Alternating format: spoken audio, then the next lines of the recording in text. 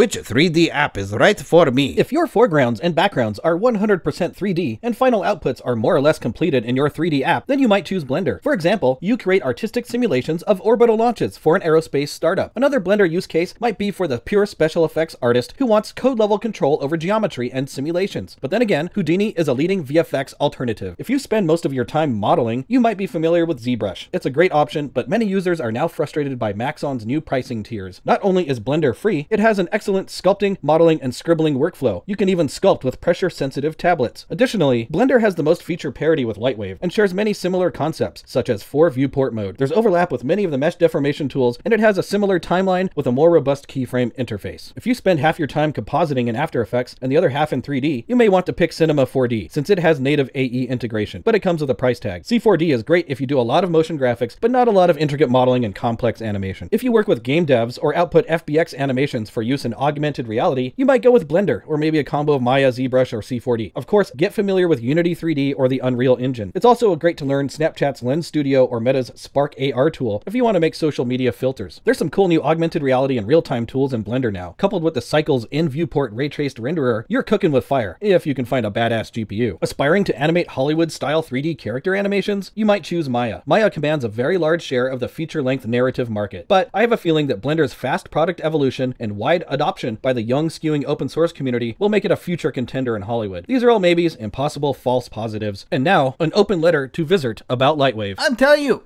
Lightwave 3D is not there yet. Leugnen Sie die Untergang von der Lightwave? 2091 kaufte die Firma Vizrt NewTek. Alle ursprünglichen Softwareingenieure von Lightwave sind gegangen. Wenn Sie Lightwave googeln, geht es in der neuesten Pressemitteilung darum, neue Verkäufer und Russlands zu finden. Ganz zu schweigen davon, dass Wizard eine keine Public Feature Roadmap Policy hat. Ah, yeah, well, I don't like this pessimist attitude. Wenn ich Sie Wizard wäre, würde ich Lightwave Open Source machen. Modernisieren die Benutzerforum zu einem Stock Exchange und erstellen Sie dort einen Lightwave Plugin Marketplatz. Oh, you are most boring tutorial person I ever watched.